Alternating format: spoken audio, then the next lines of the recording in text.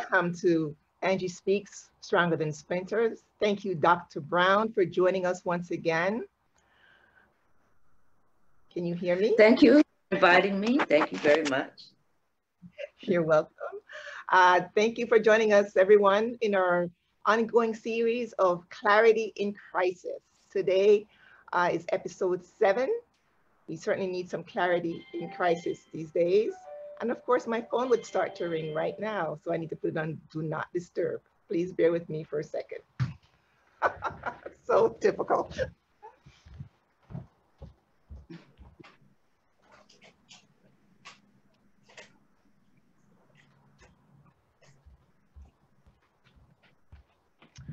So I am back. Welcome to Clarity in Crisis. Life happens. That's just how it is. Yep. Um, so our, our, our focus today is forgiveness and how forgiveness will keep us in good health uh, as we maintain uh, or help us to maintain good health when we learn to forgive, help us to have healthy relationships. Um, so Dr. Brown, today, before I jump in, I just want to again welcome the audience and say thank you, whether you're watching live or on the replay. We are open to your questions regarding forgiveness. Forgiveness sounds a lot easier than it actually is. People throw that term around a lot. You just need to forgive. But we all know that it's no easy feat. So in light of everything that's going on with, with our environment, forgiveness is probably gonna be very, um, I'm sure it's gonna be critical in this season. Um, but Dr. Brown, from your experience, your 20 years of experience, what or how would you define forgiveness? So forgiveness is a process. That's the first thing that's uh, important to know. Um, it's not just something that happens right away because it's very complicated. You know, as human beings, we all need to feel love. We all need to feel like we belong. And the way we do that is through relationships. And um, if we were still in um, well, if if if we were not in this environment where we have imperfect people, okay, we we wouldn't have to worry about forgiving. Unfortunately, sorry, um, if we were in this environment where what? I didn't hear that part. So, if living today in an in an imperfect environment, okay, we all have to worry about the fact that somebody may offend us mm. but intentionally or unintentionally. Offenses are going to come. The problem is, what are we going to do with it? And the best thing to do with it is to let it go. Let so it go. many people, people define forgiveness in, in many ways, but I mm-hmm. think the um, basis of it is letting the offense go. And exactly how do we do that? I, I am the student today. How do you let it go when, I mean, this person really didn't just offend you, he just, for example, dehumanized you or totally disrespect you. I mean, to your, to your face sometimes. How do you do it? Well, I think one of, one of the main ways that you do it is you have to realize that, well, holding on, first of all, holding on to the offense mm-hmm. does absolutely nothing to punish the other person. In fact, what it does is it punishes the person who holds on to the offense. But it can and, feel so good, Dr. Brown. Sometimes it feels so good to hold on. You feel like you're some Revenge. kind of fulfillment from holding on. I felt these things. That's why I'm, uh, you know, I'm not saying it's right. I'm just saying I felt these emotions. Well, I think most of us do feel these emotions because we want to be loved. We really want to be loved. And we were created to be loved. But because we live in the world in which there are cruel people, we don't always experience that. And yes, the the desire to retaliate is real. I, have gone through it myself. However, I know that it doesn't pay. It just does not pay. in fact, um, it hurts. And why, if you've already been hurt by someone, why subject yourself to further hurt through that person? You would you want know, to get. This sounds logical. It really does. Could it be that? Well, first of all, tell me what are the benefits of forgiveness? What what what are the benefits of forgiving anyone? Well, the biggest benefit is that you hold on to your sanity, your mental health, and and your physical health. So, okay. um, so in layman terms, I won't go crazy, and and you have good health. I have good health. Okay. Peace and joy. I, I, I think these things are, are quite worthwhile, but specifically the benefits of having of forgiveness is having a healthy relationship. And mm. you know, that's important. We if we want to be loved, we can't run around being hateful and angry and causing other people to have to pay for what someone else did to us. Uh, other people won't know what we're going through, and they'll assume that um, that, that the feelings that you're having, the mm-hmm. anger, the revengefulness, um, all the negativity they'll assume is going to them. And then that prevents um, a relationship that could have been beneficial to you, whether mm-hmm. we're talking about um, intimate relationships, you know, uh, um, boyfriend, girlfriend, husband, wife, relationship with your family, relationship with peers. You know, we need. So we know that relationships are very, you know, logically, we know that relationships are critical to our well-being, to that whole thing of the self-care triad. You know, relationships are, are definitely an integral part of us being the best version of ourselves. Healthy relationships, not just relationships, but healthy relationships.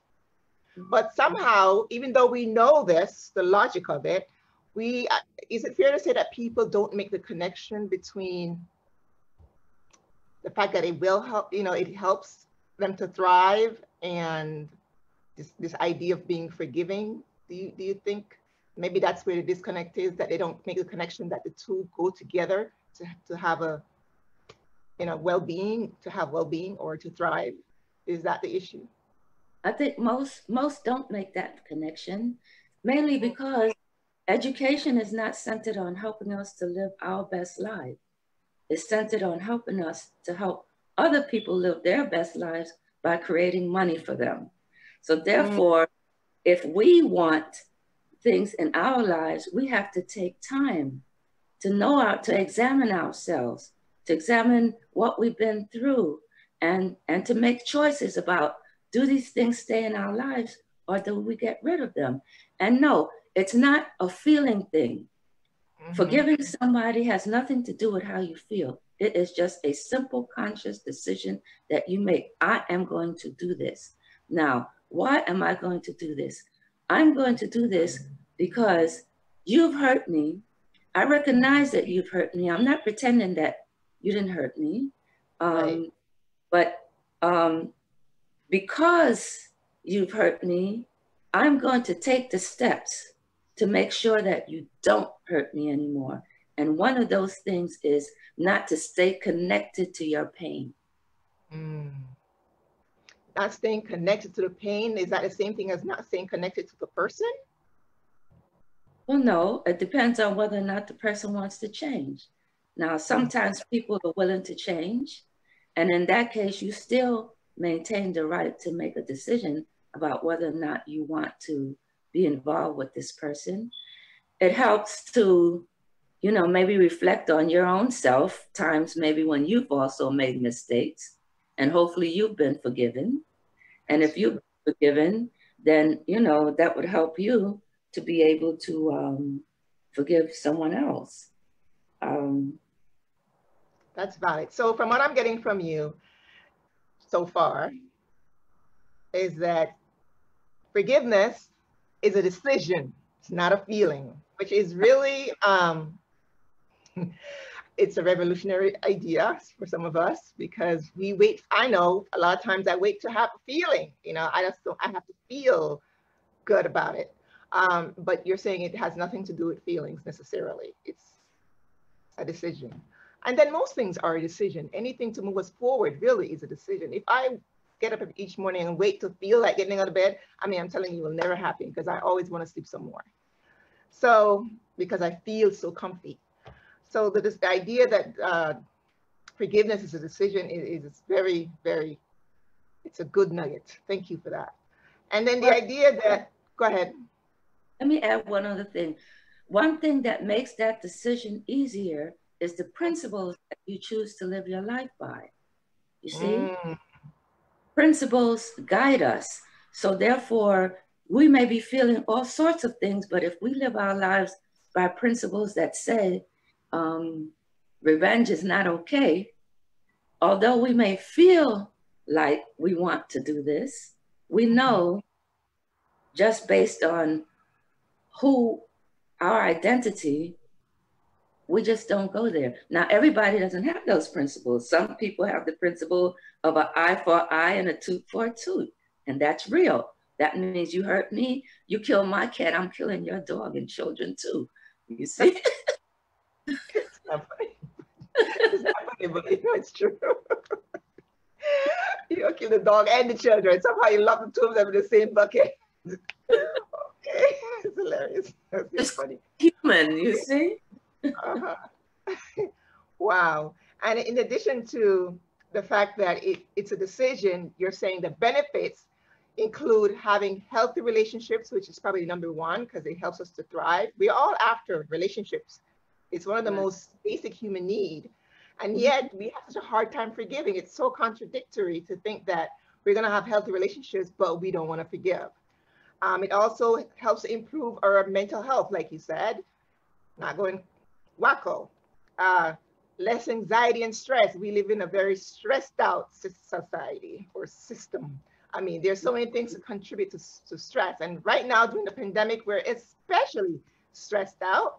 Um, so I'm, I'm, thinking forgiveness may be, maybe even harder during this time.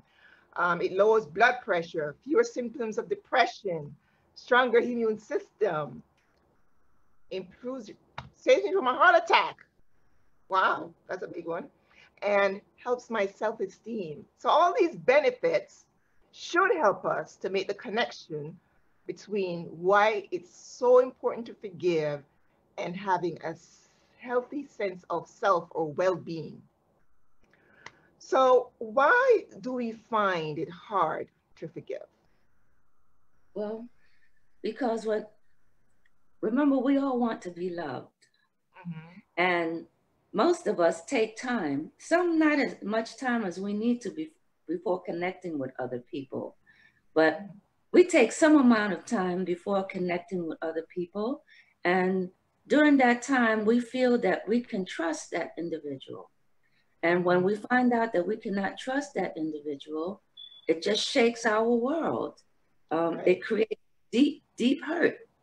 And when that deep hurt is there, um, we just go into our natural instinct.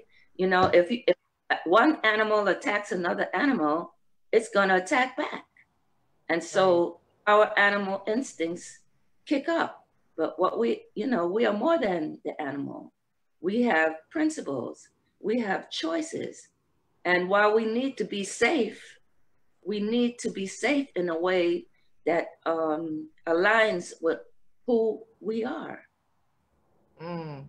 So, do you have a personal example from your your lifetime and experience of how you have forgiven, how it was hard for you, how you overcame? Something that we can sink our teeth into, some juicy story. yes, I have many stories. I'm thinking about one now. One uh-huh. that was especially painful to me um, as um, a, a early Christian. I I um, I used to do Bible studies on my job, you know, during the lunchtime, and I met a lot of people. And out of that, I was invited to a Christian business women's conference. Mm-hmm. And when I went there, I heard this woman speak, and she sounded like an angel that just floated out of heaven, you know? And then asked, yes, you know, we know this. She asked me to become a part of her ministry. And it was uh-huh. on the it was on the Upper East Side, you know, big brownstone, five floors. Oh my God. Every, everything was wonderful. It was really a multi-million dollar ministry that had been around from the 1900s.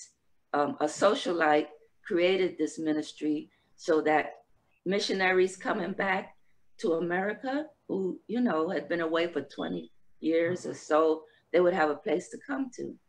Now, mm-hmm. what I didn't realize is that um, she had a manipulative plan in place, you see, and I fit right into it. She was being nice and she was doing all the things to make me feel good. Mm-hmm. She, she was able to read me, and some people can do that. She was a psychopath. Imagine that. Yes, they do go to church too. Okay. we know these things. Uh-huh. We know Jones. he was a psychopath. Many people followed him. You see? But nevertheless, Jim, Jim Jones. Jones. Oh, yeah. He was a psychopath. And, uh-huh. and people um, hoping to have their needs met.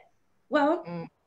I I accepted her invitation to join the ministry because I was looking for a place to have my Bible studies outside of the um, outside of my business.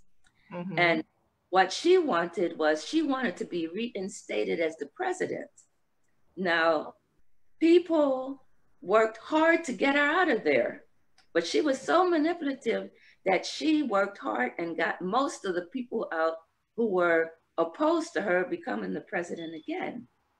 Mm. And so after she got them out, she had to replace them. And so I was part of that replacement, you see? And so she was the sweetest thing. She and her husband, they were the sweetest thing until we left that boardroom and she was appointed president. Her whole, her whole continents changed. Like she just shut down. I was like, oh, it was, it was rather shocking. You see? Wow. Um, and and from then, she she felt she didn't need me anymore, and so mm-hmm. and and there were things that I was beginning to challenge, the same as the other people that left. She just wanted to do her thing with no questions. And one during the process of all that, one day I ran into uh, this man who was one of the people that was put out. Now, this uh-huh. ministry not only had a location on the Upper East Side, but also up in Massachusetts, uh, mm-hmm. in the Berkshires. You know, that's we talking big money there. Okay, so when I went up there, I ran into this fellow, mm-hmm. and um, I went to church, and it was the lady's birthday, and I was trying to find a way to mend things, you know. And mm-hmm. so I had a birthday card, and I asked him would he sign it, and when he looked at it, I saw this look on his face. and He became so hard. And I thought, what? Clearly, he, didn't let, he hadn't let go, clearly. the man was so affected by all of this that he developed cancer. Oh, wow. Yes. And, you know, anger, um, anger leads to a lot of chronic illnesses, and cancer was one of them. And wow he still he needed to forgive. Mm-hmm. I, I didn't know all of this, but when I gave him the the card to sign, he looked at it. He had a real, you know, negative response. Mm-hmm. But then mm-hmm. after that, he turned and he said, "No." He said, "Okay, I'm going to sign it," and he signed the card. And then when I returned um, to to the ministry, I gave her the card, and when she looked at the card, I saw that she she was shocked that this man's uh-huh. name was. So she did something, and she was very clear about what she did.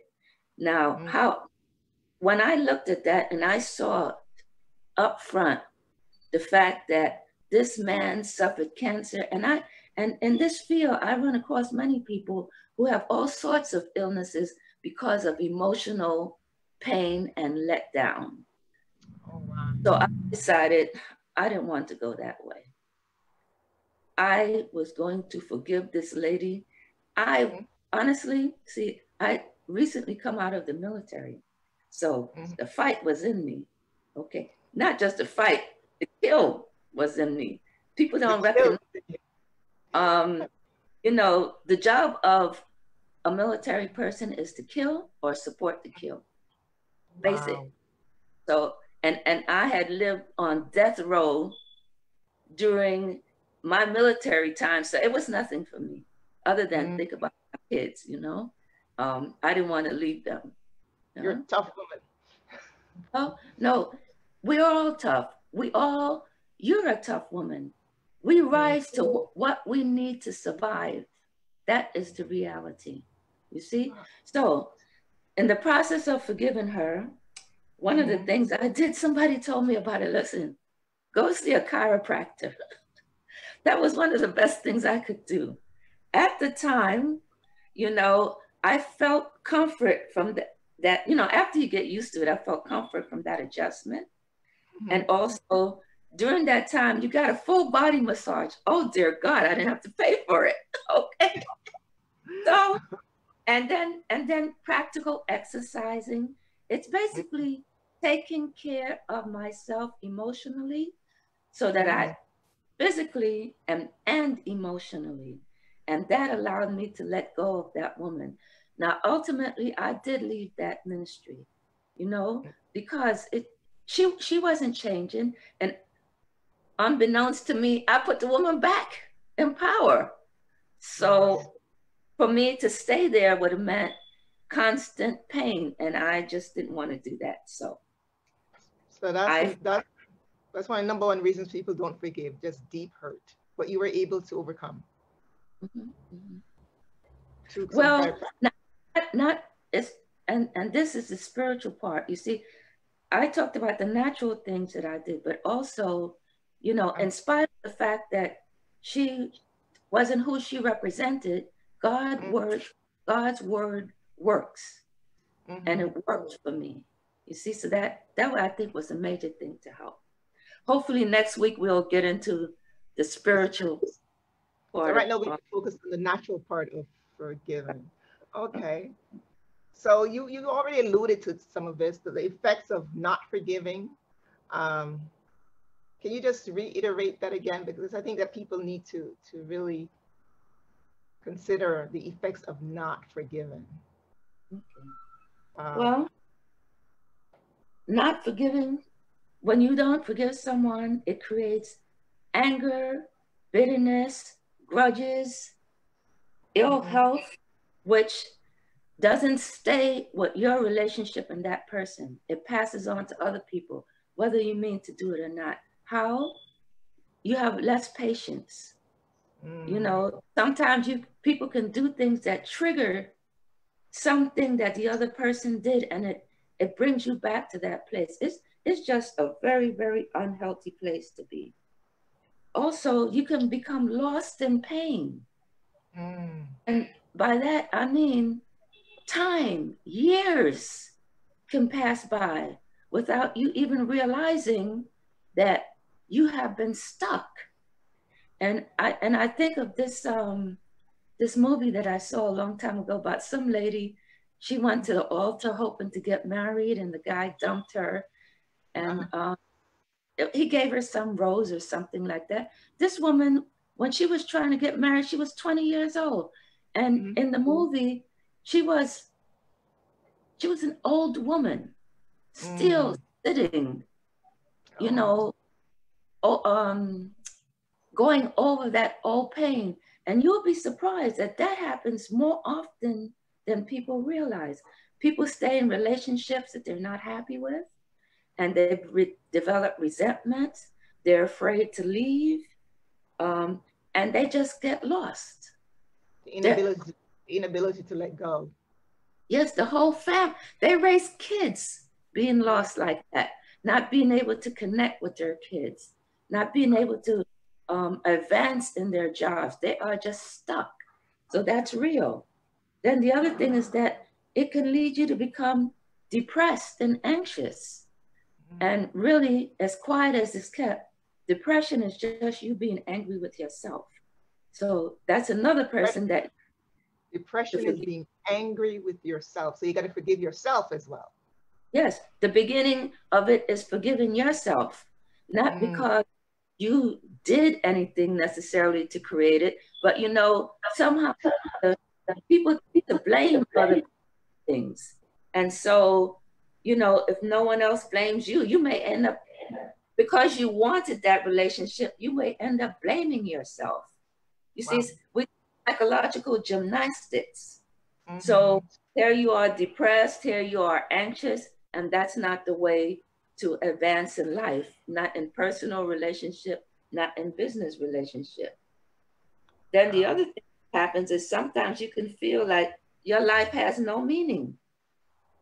Um, That's worse, hopelessness. Yes, things are pointless. And mm. and people can and do get to the place where they think things are so pointless that what's the use in living? That's oh, serious. That is the worst. And then um, you lose valuable connections. That's mm. you you just sometimes you know someone people are always observing us. Right. And we never know what gifts people can give us. But if they observe us and they find that, oh, this person is negative, mm-hmm. they will be mm. drawn, they will be pushed away from you rather than drawn towards you. And there, you know, you will lose things without even know, knowing that you lost it. I, I think of all, these are all mm-hmm. the effects of unforgiveness, not being able to forgive. Sounds yes. like a boatload of negativity and distress in your life, and you may not. And if you don't make the connection, you'll stay this way. That's the scary part. If I'm unable to make the connection between good health and forgiveness, I'm going to be in this boat that you're talking about, being stuck, hopeless, mm-hmm. And feeling like and sick, physically and emotionally sick Wow. Basically living a lie. You're mm. living a lie. And the lie is somebody lied to you and you believed it and you won't let it go.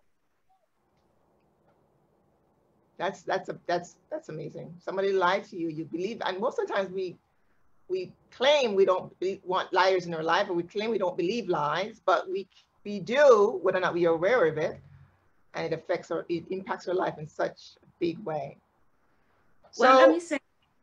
Go ahead. One You see, the reason why we hold on to negativity is for survival purposes, but it works against us. You see, mm-hmm. good things we don't have to fear, but pain we have to worry about. And so until we figure out how to resolve that, it stays in our heads. Sometimes you can't resolve it. That's why you have to let it go. You have to let it go. So how do I forgive? It's a choice. That's that's the that's what I'm getting from here, from talking to you today, more than anything else. It is a choice. And I have to recognize the value. We have to mm-hmm. recognize the value of forgiveness. Mm-hmm. Wow. And and but also go ahead. No, I'm sorry, go ahead. But how do you identify what needs healing? and who needs to be given and for what? How, how, how do you do that? Well, hopefully you have people around you who care about you and, and who are aware of these kinds of issues. You know, mo- I think few people get through the world without having that kind of an experience and um, being able to talk to you. You have to be open to um, hearing what someone has to say. And, and if you have no one, if you have no close family member, friend, hopefully if you are involved in like a church or, or let, I will say a church activity, you can go to your minister and talk to them. Um, I think if you have a minister and you can't talk to him, what's the point? You know, I mean, he's supposed to be a shepherd. I understand some people are so so um, focused on impressing the minister that they can't get any use out of him or her. You know? you don't believe in that. So it's important to be transparent and honest is your point, the, the, honesty yeah. the transparency. But I think a lot of that will roll into our next session, which has to do with your the spiritual aspect of forgiveness because it's really hard to do those things if your spiritual foundation is not set. I, I mean, for the longest time, I wasn't transparent. I'm still working on it. I wasn't honest because I didn't want to look bad. I don't want to seem like I don't have it together. I don't want to not appear that I don't know what I'm doing. So until I got my spiritual foundation where I focus on, for me, how, what is Jesus like? Who is he? Is, you know, what is his character like? It was hard for me to really make those adjustments to become transparent, vulnerable, and being honest and say, well, this is how I'm doing. And it doesn't, it's not a pretty picture right now. So until I get to that stage spiritually, and do that work, it's going to be hard to really expose myself to someone else to help me when I'm in a situation where I'm stuck because of lack of forgiveness. Yes, you're right. But in terms of other other practical things that we can do, um, it helps to keep a journal of your thoughts because then you can start to make connections with your feeling and what's going on around you. And mm-hmm. um, think about time when you've hurt people. You know, we're not perfect either. And I, you know, I try not to think about that. Think about when I'm, it's, it's so crazy. when somebody hurts me, I mean, the world is coming to an end. But I remember when I just got married, my husband would tell me I do stuff, and I'm like, really, I'm really sorry that you feel hurt, or if you if you're hurt, I'm really sorry. Some kind of lame apology because I truly did not connect to to his pain that I caused him. I didn't see it. But let him say something in the wrong tone. Oh my gosh. We'll be talking about, about that for weeks until I feel resolved. So that's a very important part of it too, being able to connect to other people's pain and being able to see when I've hurt or when you've hurt someone to you know, extend them the same grace that you want them to extend you. It took me a long time to learn this lesson because I could just never see it. I was so obtuse. That's the truth. I can laugh about well, it now, but that is a process. You see, it's a mm-hmm. process. It's not going to happen overnight. So mm-hmm. don't, you know, give yourself space and time. Right. And get help. Now, one of the things that I'm doing now, more specifically, is starting a group for people who need to deal with forgiveness. Mm. So if you feel that you want to be a part of the group, I encourage you to join. Absolutely. So Dr. Brown is paying it forward. If you come through the Eve Speaks platform to get some support, especially during this time of crisis that's all around us, I mean, we got crisis exponentially these days. Um, we're inviting you to join. It's free through this platform and you can get the support you need to navigate for the help you may need emotionally to get back on your feet or to maintain your health because we all know how important forgiveness is to our physical, mental, and spiritual health. Um, we're out of time just about thank you for, for joining us. And when you see the replay, I hope you got something that will help you in this process. The link for this for the support group is evespeaks.com slash programs slash heal or join us in our community group, Angie Speaks Stronger Than Splinters. Yes, we are striving to be the next best version of ourselves. So we have to fight to be stronger than our splinters. As for Dr. Brown, you can also reach her on her Instagram at ask underscore Dr. Mom. 20 years of experience in private practice. She certainly has a few good nuggets for you to help you in your journey. Once again, thank you for joining us, and we will see you next week in another episode of Angie Speaks, a derivative of Eve Speaks, where we are fighting to be stronger than our splinters. Have a great day. And thank you, Dr. Brown, for joining us again. Thank you for paying it forward to support people during this time of crisis.